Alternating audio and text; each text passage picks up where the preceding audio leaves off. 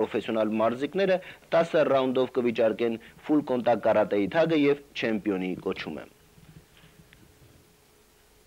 Իսկ ամենամեծ անակնկալն այն է, որ ֆիլմի պրեմիերային եւ առաջնությանը մասնակցելու համար որպես պատվավոր հյուր Երևան կժամանի Հոլիվուդի աստղ աշխարհարչակ Դոն Դրագոն Վիլսոնը։ Հանրայդ մարզիկն ու կինոդերասանը Հայաստան գալուց առաջ տվեց իր առաջին հարցազրույցը մարզաշխարհ ծրագրին։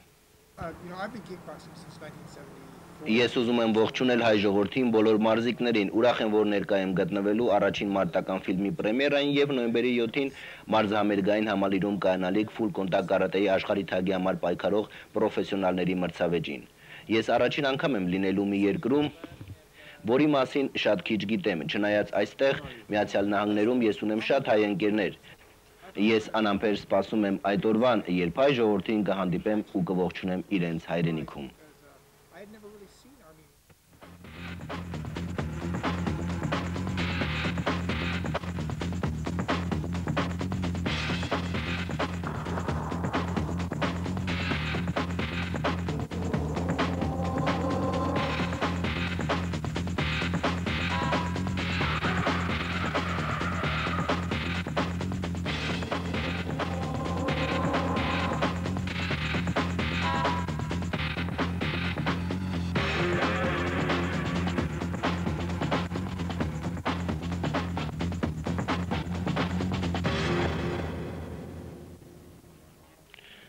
Եվ այսպես, ընդամենը 20 օր հետո Երևանում մարզական մեծ տոն է լինելու։ Համոզված եմ, որ Հոլիվուդի աստղ Դոն Դրագոն Վիլսոնի ներկայությունը ել ավելի տոնական ու շքեղ կդարձնի մարզամերգային համալիրը եւ աշխարհի առաջնության մենամարտերը։